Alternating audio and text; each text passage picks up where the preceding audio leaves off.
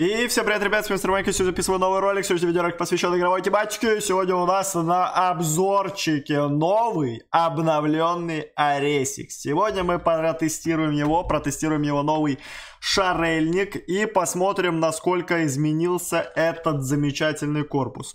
А самое главное, изменился в какую он сторону, в худшую или в лучшую.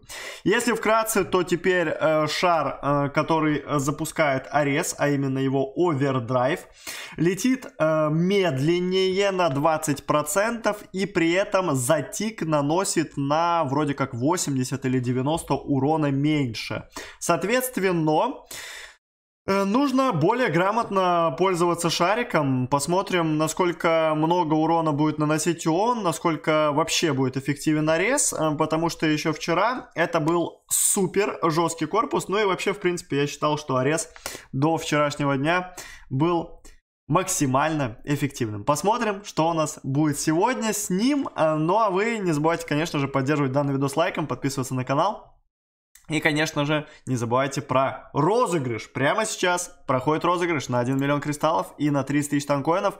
Для этого вам нужно установить мой личный тег создателя контента в настройках игры, в аккаунтике. Устанавливайте мой личный тег TagTeamP. Оформляйте покупочку, заполняйте формочку в описании и выполняете все максимально быстрые, легенькие условия и участвуйте в этом замечательном розыгрыше. Поэтому, если вам это интересно, в описании вся информация имеется. Переходите и участвуйте. Ну, а мы отправляемся в бой. Я даже, если честно, не знаю, что мне сделать и взять здесь по режимчику. На чем мне и где сыграть. Эм, ну, давайте, наверное, Дефолтный быстрый бой пикнем. Если сейчас будет не самая удачная карта для Ареса, то я ее перепикну, как вы и говорили, и просили, чтобы я перепикивал неудачные карты и режимы для моего сочетания, чтобы показывать максимальную реализацию своей комбины. Но меня закидывают на хорошую карту, на хорошую, очень хорошую карту для моего вооружения.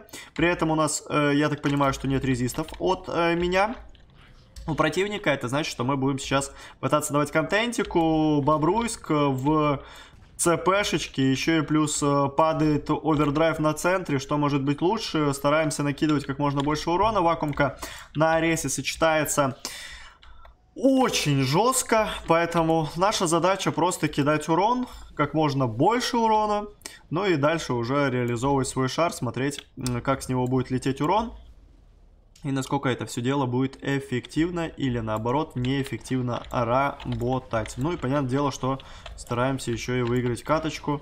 Победы для нас очень многое значит на постоянной основе. Так, единственное, только немножко непривычно смотреть, что у противника там по пушкам. Магнум, Скорпион, Молот, Рик, э, Рельса, Рельса. Две рельсы у них. Можно поменять, в принципе, резист. Какой у меня вообще рез одет? у меня одет резист, чтоб я знал. Это, если честно, особо даже не знаю, какой у меня рез одет. Так, падает овердрайв. Пробуем забрать оверком. Надеюсь, что у меня ее... Ах, не заберут, но у меня ее, к сожалению, быстро забирают. Так, что у меня по резу? У меня смока, скорб и гром. Смока, скорб, гром. От смоки можно резистик, по идее, здесь поменять. Скорпион вроде как есть. Можно здесь взять резист от рельсы. Ну ладно, пока что менять не будем. А если вдруг необходимость в этом будет, то мы вместе с вами переоденемся. У меня 90% овердрайва. Прямо сейчас я уже буду готовиться выдавать его на линию. И будем стараться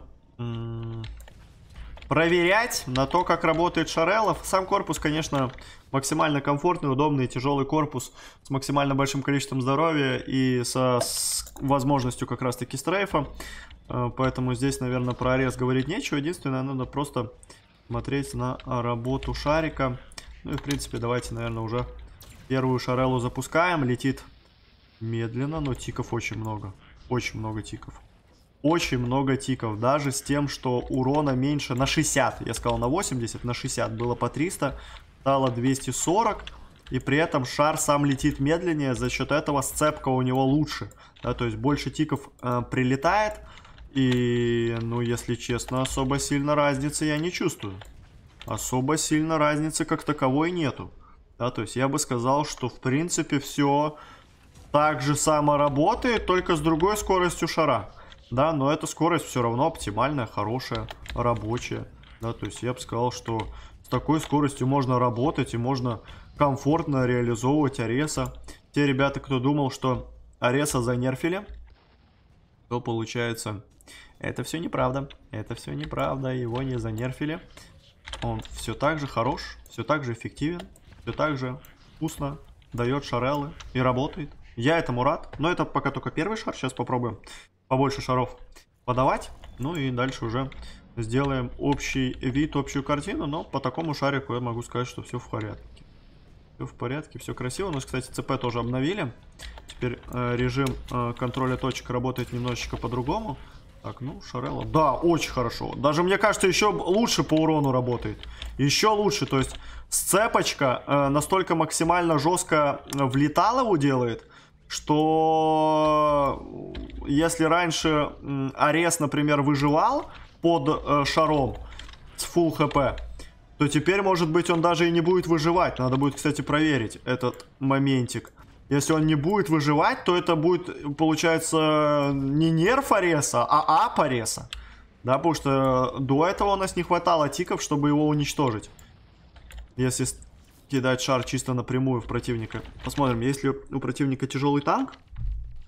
И попробуем поймать именно тяжелый танк в целое хп шарелу ему запустим. Если мы его уничтожим, то получается у нас все будет очень и очень круто. Да, 3, 4, 3 заход, еще офигеть, очень хорошо.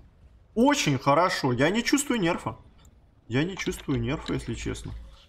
Очень хорошо шар работает, и при том, что скорость этого шара мне даже нравится больше, потому что с предыдущим шаром, э, закидывая его э, именно на опережение, он бывало пролетал быстрее, чем нужно. Да, и из-за этого сцепочка э, была не такая эффективная и не такая жесткая. Быть может, с этим шаром как раз-таки проблем таких не будет, и он будет эффективно работать. Э, у меня 500 очков уже за, получается, 5 минут боя. Есть возможность здесь дать вообще какую-нибудь полторушку, поэтому будем стараться накидывать как можно больше урона по оппоненту. И стараться еще и подбирать центральные овердрайвы. 50% оверки у меня уже есть. Скоро должен падать овердрайв на центре. Пробуем его тоже забрать, законтролировать. Противник, ой, магнум, да, жестко залетает. Два уже магнума появляется. У противника давайте возьмем резист от магнума. У меня так больно не прилетало. Так, где мой резист от магнума? Магнум, магнум, магнум, магнум. И тогда будем уже стараться не отдавать точки. У нас теперь в ЦП не 50 точек, а 100 точек. Для того, чтобы сделать досрочку в ЦП, теперь надо, я не знаю, насколько жестко потеть. Но по точкам у нас отрыв у противника есть небольшой. Захват теперь э, требует большего времени. Да, и э, с на половине тоже работает намного быстрее. Да, то есть теперь слетает сама точка быстрее, захватывается дольше. Э, изменения, ну, если честно, не знаю, особо сильно я не вижу в них. Прям такой жесткой важности, да, ну, если у нас сделали такие изменения, возможно, в этом есть какой-то смысл. Я в ЦП последнее время особо много не играл, поэтому для меня, наверное, это не такой а, важный фактор.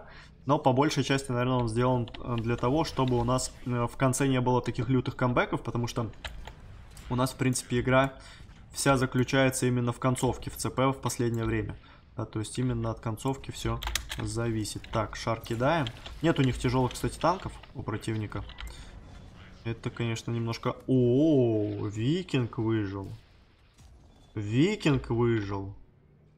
А с предыдущим шаром, мне кажется, Викинг не выживал под оверкой. Через целый танк. Что-то мне подсказано, он, конечно, 0 хп остался. Но все равно он выжил. Он выжил под оверкой. Ага. Ареса раньше не сливала. Сливала раньше Викинга. Наверное, значит, плюс-минус с уроном все осталось то же самое. Да, то есть по урону особо сильно не поменялось ничего. Единственное, вот видите, что только поменялось, это то, что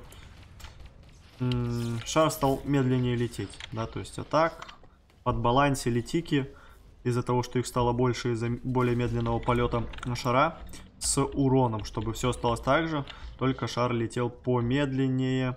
Ну, это, наверное, работает точки зрения того, что у противника будет больше возможностей уворачиваться от шара, да, то есть если у вас хорошая реакция, вы видите, что шар начинает лететь, у вас больше возможностей как раз-таки от него увернуться и э, постараться не попасть под дополнительный урончик. Ну а так, в целом, наверное, для тех ребят, кто играл на старом аресе, со старым шариком, как я, то, наверное, даже это может быть и плюсом. Потому что мне, как я уже сказал, новый шар, ну, в моменте был не таким крутым. Да? Казался, что он ну, лучше бы летел бы помедленнее, например, да, то он там летит очень быстро. А ты так думаешь, блин, ну зачем он так быстро полетел? Лучше бы он там чуть-чуть помедленнее, там зацепочку, сцепочку бы сделал бы, там накидочка бы дополнительная залетела, а у тебя там бах, и все, и залетел шар быстро, очень моментально. И ты уже, ну не так прям рад этому событию. Да, викинг выживает. Но на 0 хп, конечно, остается. То есть, получается, шар наносит через целый танк где-то около, сколько там, 3000 хп. И аптечка сверху, то есть это 3 с копейками. Ну, грубо 3000 хп, короче, наносит. 3000 хп наносит шар урона через целый танк. Да, то есть раньше он, получается, наносил где-то, наверное, около 4. То есть чуточку нерв есть. Есть нерв. Есть нерв. Все-таки нерв есть. Но он как говорится, не сущ... существенный. Да, поэтому я думаю, что все равно Аресик будет очень вкусно и сладко работать. Ну и вообще, я, если честно, не хотел бы, чтобы этот корпус нерфили э, в сильном таком ключе, потому что для меня это, ну, во-первых, как бы основной корпус, на котором я играю в турнирах. Во-вторых, я в матчмейкинге играю на постоянной основе чисто на этом аресе. У меня и на бездонате он выкачан, да, поэтому я все-таки не хотел бы, чтобы этот корпус в нашей игре подвергался жесткому нерфу. Да, такой нерф, он приемлем, да, я в принципе с ним даже, наверное, в какой-то степени согласен. Пусть он будет таким, да, э, но чтобы это не перерастало в то, что арес полностью убивали, да, то есть если полностью убьют арес, это будет максимально неприятно. Да? Такой арес, в принципе, выглядит хорошо. 57 киллов у меня, 1100 очков. Стараемся выйти на полторы, как я уже сказал ранее. Ну и стараемся выиграть бой. Да, наша задача попробовать выиграть эту каточку. 96% овердрайва у меня уже есть. Пробуем захватывать. Чуточку дольше. Захват точки у нас идет. В целом, я уже сказал, не критично. Так, прожимаем шар. Пробуем линии шарика чуть-чуть раздамажить оппонента. 3-4 танка улетает. Пробуем забирать. Хорошо. Контролем. Три точки в контроле. Пробуем выиграть боечек. С, таки, с такой раскладочкой победочка уже, как говорится, недалека. Но единственное только то, что здесь у нас получается 100 точек. Это значит, что досрочки не будет. 66 килов уже. Ничего себе. 66 килов. Это что, до сутки можно долететь, попробовать? До суточки. Представляете, если бы я сейчас бы тут на аресе бы, да, на обновленном, когда говорю, что его занерфили, да, дал бы 100 килов за бой бы. Жестко было бы? Я думаю, что да. Я думаю, что это бы выглядело бы очень сильно. Да, ну, овердрайвов здесь на контролил тоже уже довольно хорошее количество. Все время Хантер мне тут сжимает уряд. 68 килов. Давайте попробуем дать как можно больше. Потому что выглядит это очень интересно. Очень интересно выглядит так. 2300. Добавочка. Хорошо, 1700. Вот стенки дать. Получилось. Добавляем от стены. Можно просто постоять чуть поконтролить зонку. Да, покидать от нее урон. Стеночек. Работку поделать под овердрайв центральный. У меня оверка особо сильно не важна. А вот сейчас важна. Ну, у вас пик ее забирает. К сожалению. Так, пробуем контролить точку. Шар пока что взять, наверное, особо смысла не вижу. Попробуем просто покидать урон. 1475 киллов. 3-4 противника в центре. Сейчас можно было бы шарбы вкусные дать бы по ним. Попробуем сейчас это дело реализовать. Пробуем. Ну, на двоих, ладно, кидать не буду. Двоих мы и так можем по-быстрому здесь забрать. Так, Тесла шариком своим пытается здесь какую-то накидку сделать. Так, ну а мы стоим, стоим, контролем, контролем, контролем, контролем, контролем, шар. Бах, туда его. Чуть-чуть хпшечки себе. Добавочки по противнику. Чуть-чуть шире сделал заходик. Отходик, приходик. Так, и забиралово по точке есть. Хорошо, так. Овердрайв Хантера сразу 79 киллов. Еще одну оверку я успею накопить или не успею. Ну, как минимум, овердрайв упадет на центре. Нужно будет попробовать забрать его. Противник пытается отхватить нашу точку. Пробуем не дать ему эту возможность реализовать. Так. Ага, еще, ясно, понял. Уходит наша точечка. Так, ну мы, кстати, ведем. Ведем в плюс 12. И точки э, не так быстро переходят со стороны в сторону. Овердрайв падает на центре. Это, кстати, очень хорошо, что не переходят быстро точки, как это было раньше, да, то есть ты там контролировал всю катку эти точки, и они просто улетают. То есть это что-то похожее, кстати, на старое ЦП. То есть кто дольше контролит, тот и, как говорится, выигрывает. Я ждал этого давно ЦП, если честно. Так, меня сольет. Да, это походу реально старая ЦП.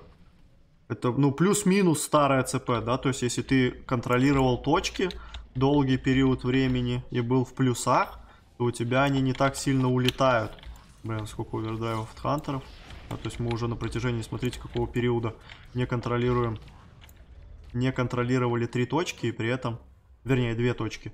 И при этом мы все равно выиграли катку. 9 тысяч на ЦП! Нифига, ну я, конечно, и очков набрал. Че я так удивляюсь. Но это хорошо. Это очень хорошо.